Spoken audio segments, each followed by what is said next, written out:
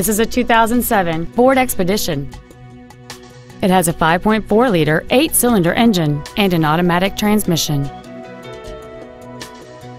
All of the following features are included a double wishbone independent front suspension, a low tire pressure indicator, cruise control, a six speaker audio system, a trailer hitch receiver, four wheel independent suspension, 17 inch wheels, dusk sensing headlights, full power accessories, and roof rails. Contact us today and schedule your opportunity to see this vehicle in person. Hardy Family Ford is dedicated to doing everything possible to ensure that the experience you have selecting your next vehicle is as pleasant as possible. We are located at 1255 Charles Hardy Parkway in Dallas.